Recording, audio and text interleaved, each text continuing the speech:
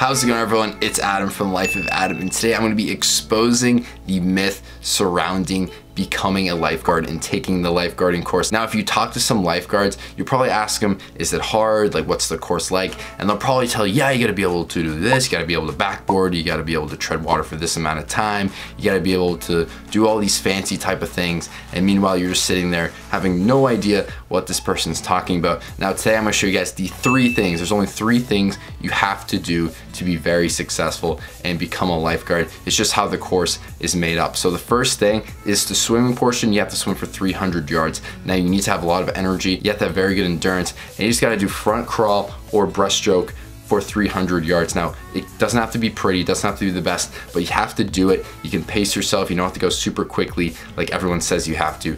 Pace yourself, get that done, and you are just one third of the way to becoming a lifeguard. And I'll explain it a little bit later on in this video, but just hear me out for one second. Now, the second thing you have to do is you have to tread water with no hands for two minutes. Now, this is actually pretty easy, especially if you're very good, if you like naturally float, which a lot of people end up doing. They just naturally float. So it doesn't even feel like they're moving. They're just kind of like making circles with their legs and they are treading. Now I have videos on this. I have the video on the 300 meter swim. I have a video on the treading. So definitely check that out. But all you gotta do is tread for two minutes with your arms like this. It goes by quickly. They'll ask you like where you go to school, where you wanna work, stuff like that. So you will be distracted. It goes by very quickly and right there you're two thirds of the way done. Now the last thing you have to do is do the brick dive, which is extremely easy. I have another video on that. All you gotta do is swim halfway across the pool, do a surface dive, which is basically like you push the water up, you sink under, and you kind of like push the water with your hands and you just grab the brick, push off the floor even though you're not supposed to, but they can't see you because the pool's like 12 feet deep. You push off the floor, hold on your chest, and you just kick,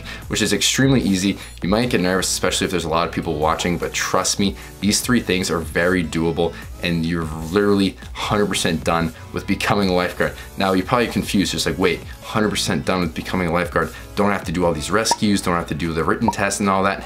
The best thing about taking the course is that once you do the pre-test and you pass the pre-test, everything else, they'll literally hold your hand the entire way. Now what I mean by that is that if you mess up during rescues, if you mess up during like compact jumps, stride jumps, you're there to practice they know you can swim because you did the 300 meters, you did the treading, you did the brick dive. So literally you can mess up all you want and it will not matter because you were allowed to be there because of the pretest. Now the only thing that matters later is the written test, which I have another video on that. So definitely check that out. You have to pass the written test, but basically you're gonna be 100% set because they're literally gonna hold your hand and show you how to do every single rescue and you're gonna practice it like a million times. So you'll 100% be ready to go and you will become an excellent lifeguard. So I hope you guys enjoy. Definitely check out out all those videos that I was talking about because they will definitely help you when you take the course and you will definitely pass. So I hope you guys enjoy. I'll see you guys in the next video. Peace out.